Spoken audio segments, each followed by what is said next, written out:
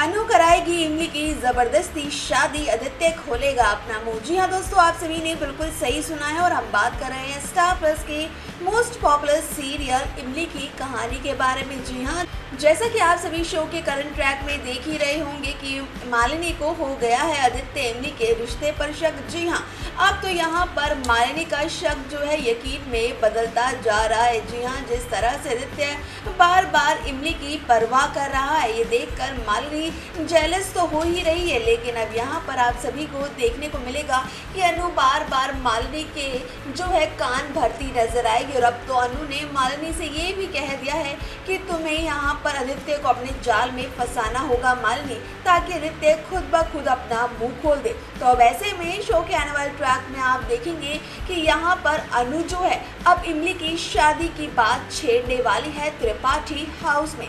जी हाँ और यहाँ पर अगर त्रिपाठी हाउस में इमली की शादी की बात छिड़ेगी तो आदित्य, इमली दोनों के होश उड़ने वाले हैं। तो गाइज़ अब देखना काफ़ी ज़्यादा इंटरेस्टिंग होने वाला है शो की कहानी में कि जब इमली की शादी की बात छिड़ेगी तो आदित्य किस तरह से इस बात को हैंडल करने वाला है और क्या वाकई में ही इमली की शादी होगी? वाल आपको क्या लगता है? कमेंट करके ज़रूर बताइएगा। अगर आपने अभी तक चैनल को सब्सक्राइब नहीं किया है तो प्लीज़ चैनल को सब्सक्राइब करना मत भूलिएगा।